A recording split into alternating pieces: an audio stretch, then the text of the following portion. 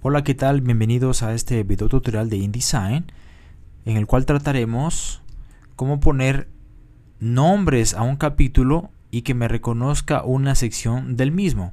Para ello voy a seleccionar el texto que está aquí y voy a ver que esto es un eh, estilo de párrafo que se llama nombre del capítulo. En la siguiente página lo que va a reconocer es el subtítulo que estará presente en esta página y el estilo se llama subhead. Muy bien, doble clic.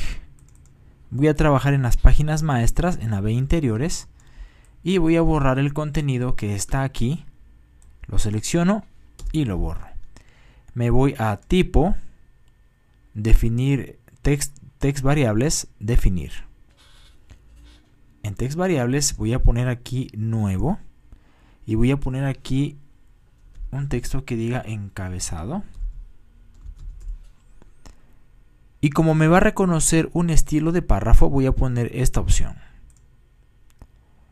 Al cargarse la opción estilo de párrafo, yo voy a definir qué estilo de párrafo. Muy bien, era el nombre del capítulo. Aquí podemos cambiar en vez de encabezado, podemos poner nombre del capítulo, también quedaría muy bien. No habría ningún problema el nombre que va a tener ahí. Muy bien, el estilo, el nombre del capítulo y lo vamos a utilizar el primerito que aparezca en esa página. Clic en OK, insertar. Voy a crear otro eh, texto variable que le voy a llamar subtítulo. Y me va a reconocer otra vez un estilo de párrafo, pero en esta ocasión va a ser el subhead, el que habíamos hablado.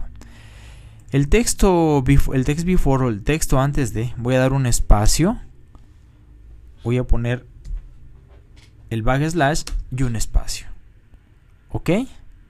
Insertar. Y ahí ya tenemos nuestra opción. Clic en Don't, me voy a la página 2 a reconocer. Aquí me está reconociendo el, el capítulo 4.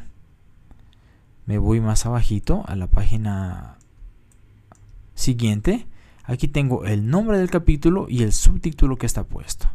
Me faltaría definir esto mismo, pero para la parte derecha.